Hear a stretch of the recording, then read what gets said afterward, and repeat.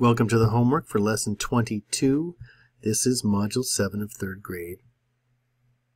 Put your name here first, please. The following line plot shows the number of rectangles a student made using square unit tiles. Use the line plot to answer the questions below. It has a title, number of rectangles made with a given perimeter. And this is the perimeter measurements and these are in square units, so the, the perimeter measurements are just in units. They're in plain linear units, not square units. And each x is one rectangle that was made with that perimeter. Why are all of the perimeter measurements even? Do all rectangles have even perimeters?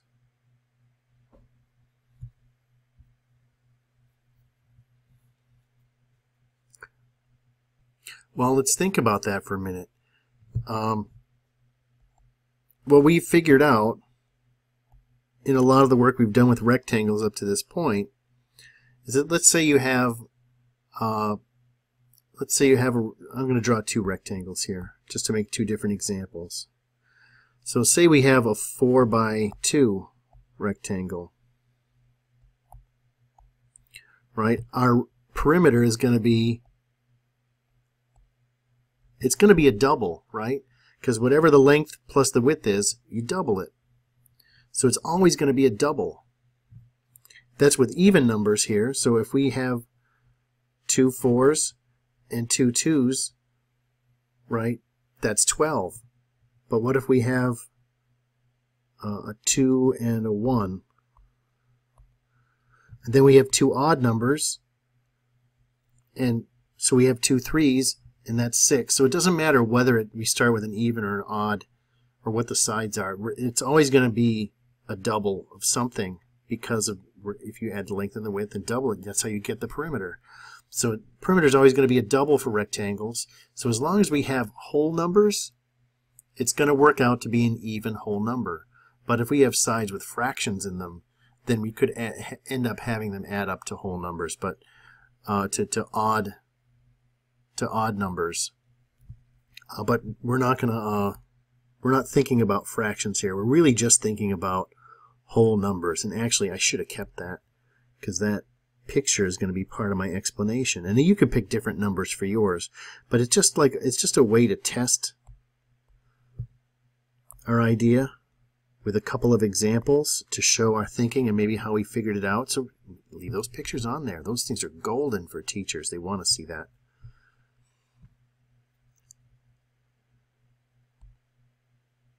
I'm going to just find a way to say what I just was just talking about.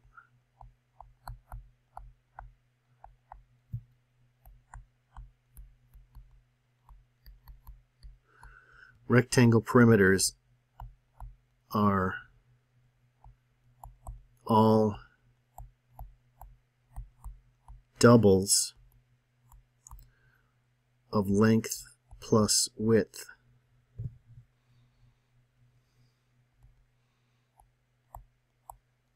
And all doubles.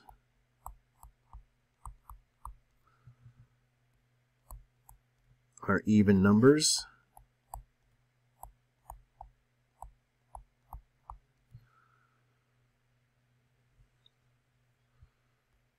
So all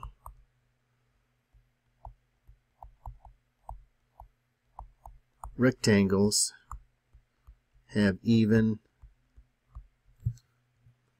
perimeters.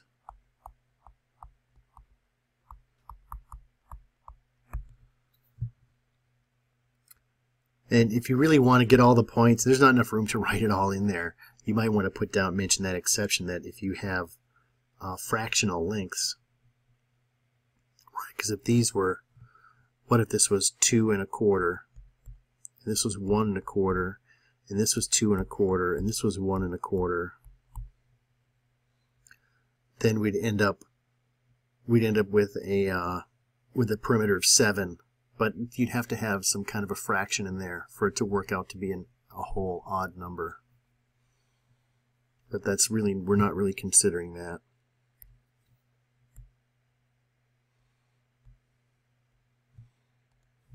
Let me just put that back in there.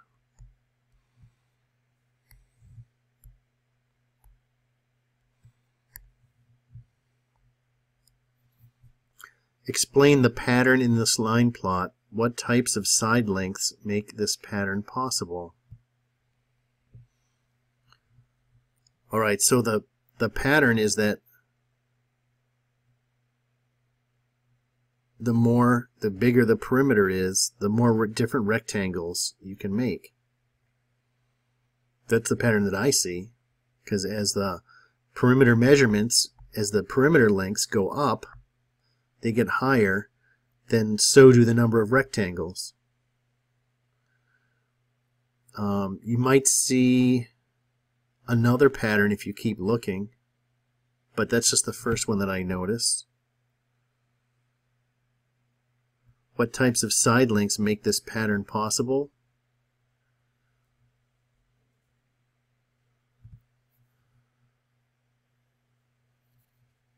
I'm just going to explain the pattern. And explain explain the pattern means say what you see.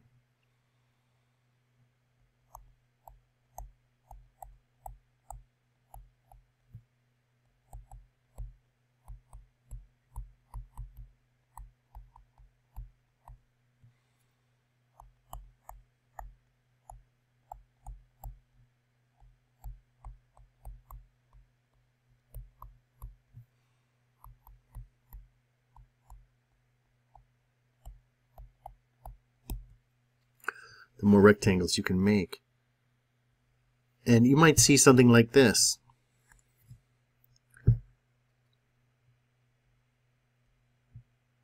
There's kind of a a step up and now here in pairs, right? It's like every two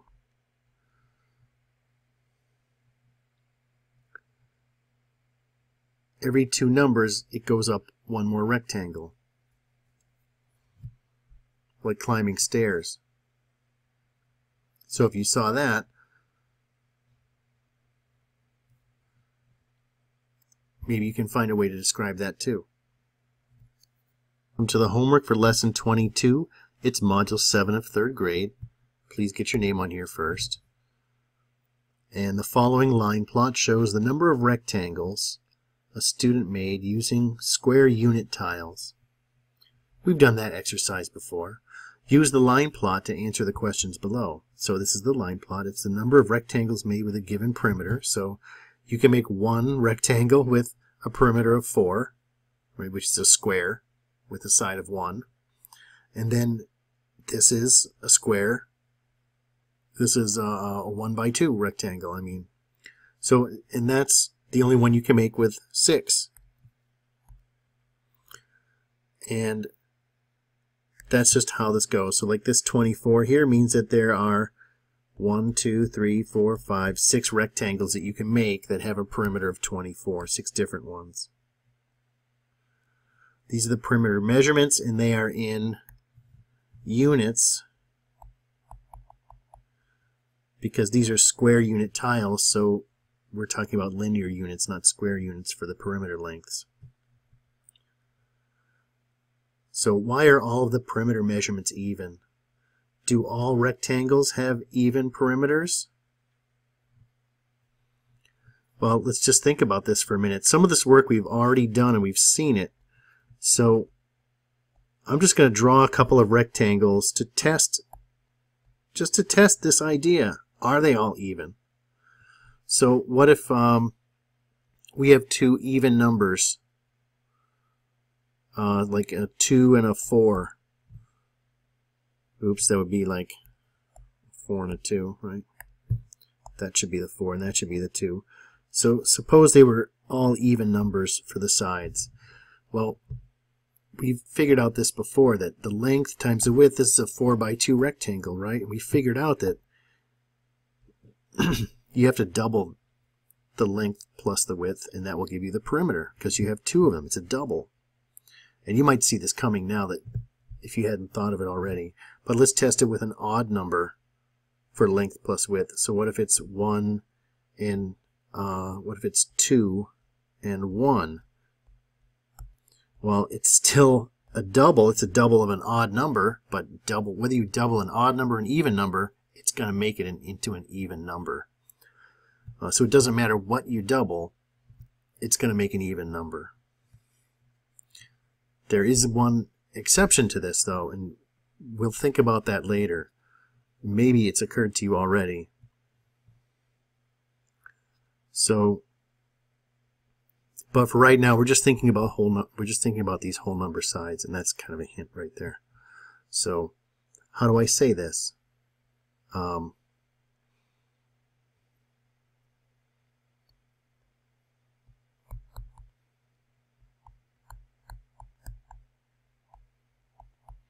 and leave those pictures there because that's a test. It shows some of the thinking that we did to figure this out, and you're going to need it because it's part of your explanation. All rectangle perimeters.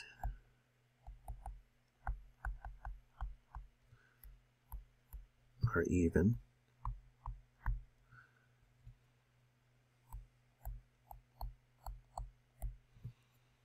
Because they are doubles of length plus width.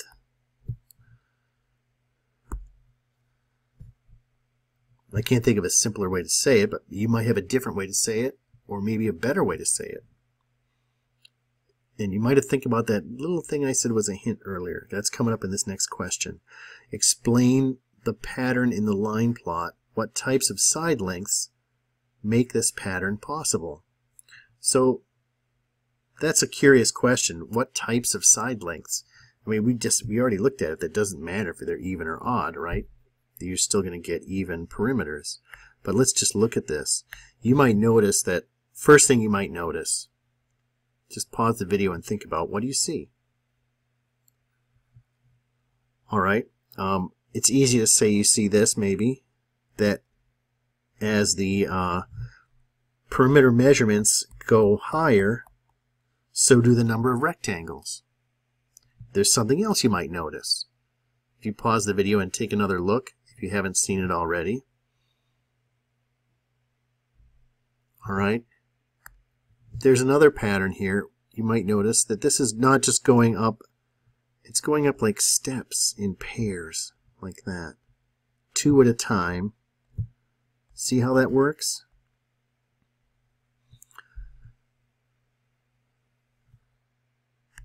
And that's what this question is about, I think. Explain the pattern in the line plot. What types of side lengths make this pattern possible? So explain the pattern means just describe it. So what do you see? I see that every two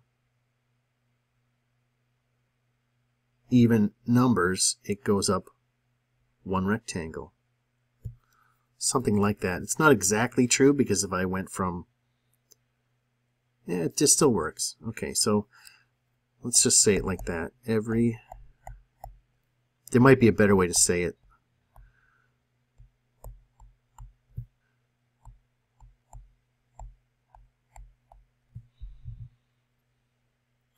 Every two even numbers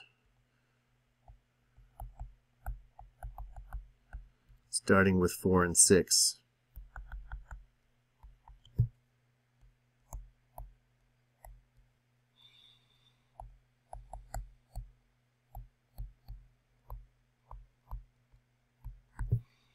the number of rectangles goes up by one.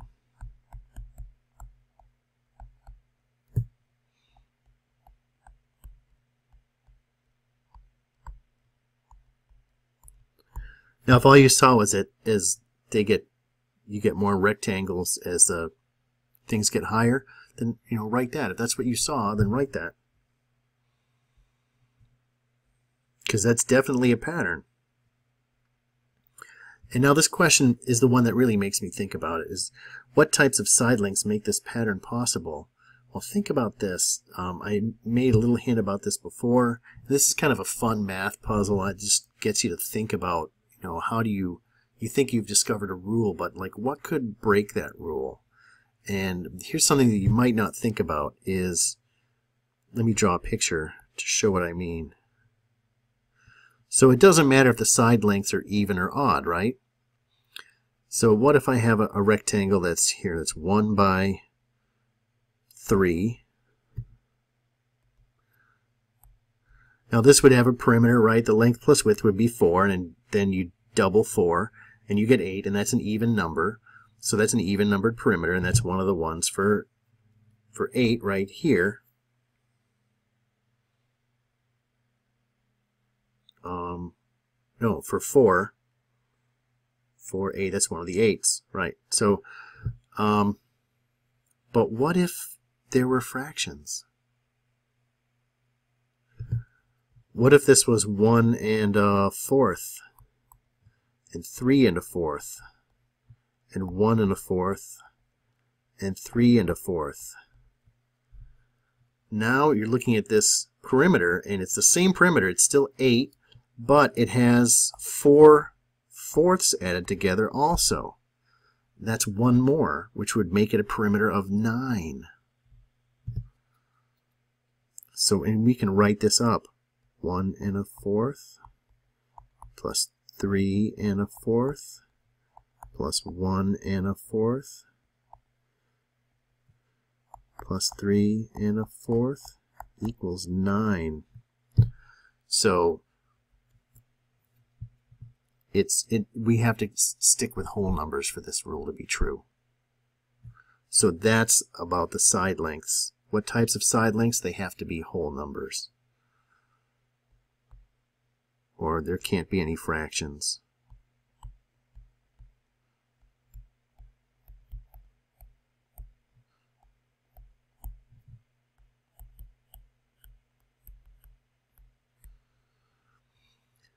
Right, because and and think about this, and this will really curl your hair if you want to think about it. What if the sides were just, you know, what if instead of one and a quarter and one and a quarter, what if they were just one? Then you'd have a perimeter of eight and a half. Is that even or odd?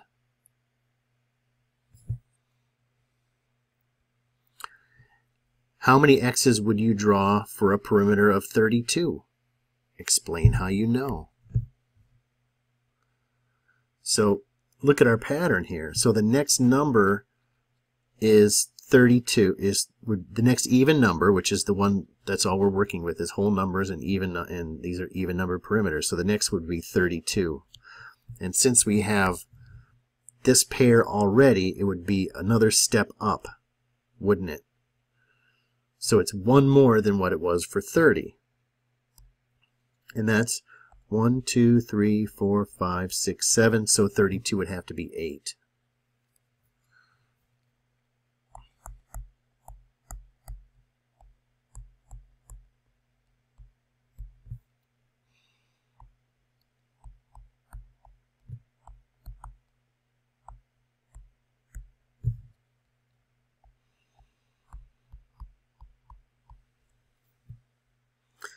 because 28 and 30 have 7.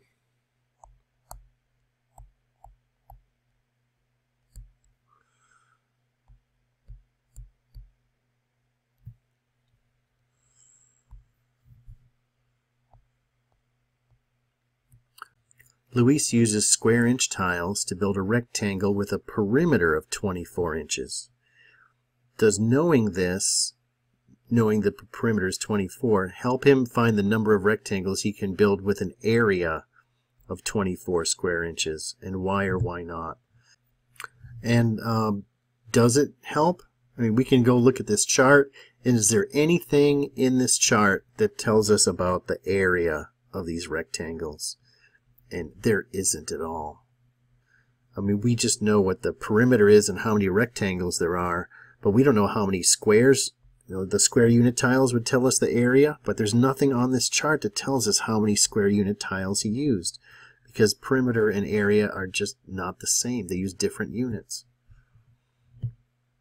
So we're going to find a way to say that. No, it doesn't help him.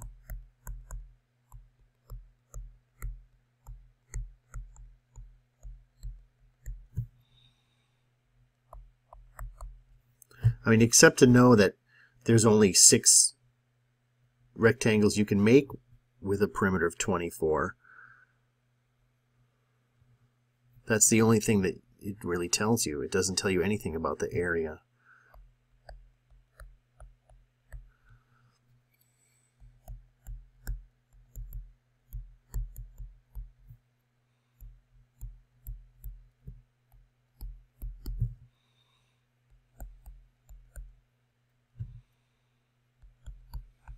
I'm just going to write down what I just said out loud, which is usually the best strategy. If you write that for your explanation, well, how would you just, just say it out loud like there's somebody there and you're trying to explain it to them and just write down what you said?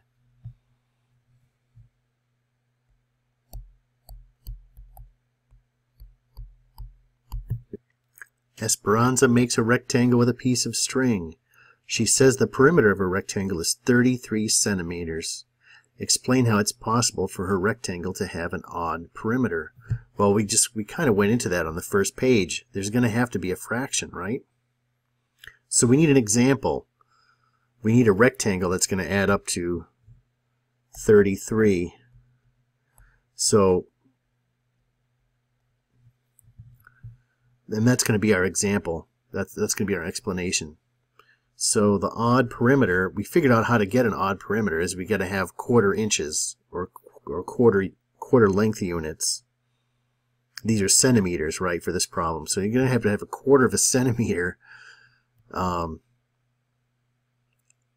added to sides that are going to give us a perimeter of 32, because then the quarters will add up to one more. So we want to think of something that's going to add up to 32. So if the perimeter is going to be 32, then the length plus the width is going to have to be half of that, which is 16. So I'm going to write some of this down here. 33 minus 1 equals 32. That's what I was just thinking, right? We have to subtract that 1 because that's what we need to, that those four quarters for the sides to make it 1 to make it an odd number, right? So, and then we need 32 divided by 2 is 16. That's half of 32. And then, so we need sides, a length and a width that add up to 16. Uh, this could be a square, couldn't it? This really, it really could be. So let's make it a square. Let me just redraw it and make it look like a square. Now that I think of it, because like what makes 16 is two eighths, right? And you could use 15 and 1, and that would be fine too. There's lots of examples that would work. In fact, you look out here, there's 16. There's four different examples that would work, because rectangles, right, um, or 32, right? We need perimeters of 32. That would be, we answer that question, right? There would be eight different rectangles we could use for this, but let's call them all 8 and then we have to add a fourth to each one. And it doesn't have to be this exact one. There are others you can use. So 8 and a fourth all around. And hopefully, you know, um, at any point, if you think you know how to finish this, go ahead, pause the video and finish it. And then, uh, and then watch the rest to check and see if see how you did. So 8 and a fourth plus 8 and a fourth plus 8 and a fourth plus 8 and a fourth and remember squares are rectangles equals 33.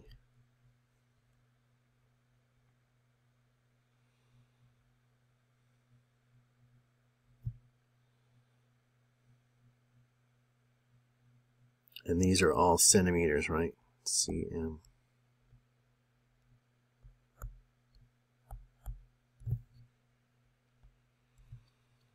And I'm just going to write a sentence near. Because it doesn't really, it hasn't really asked us a question. It just said to explain. I feel like I have to write something down to say what all of this means to somebody else who's trying to figure out what my answer is.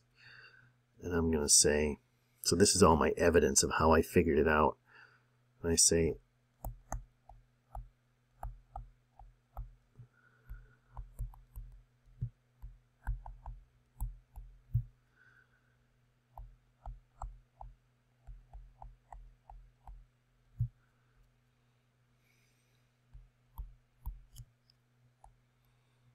as a perimeter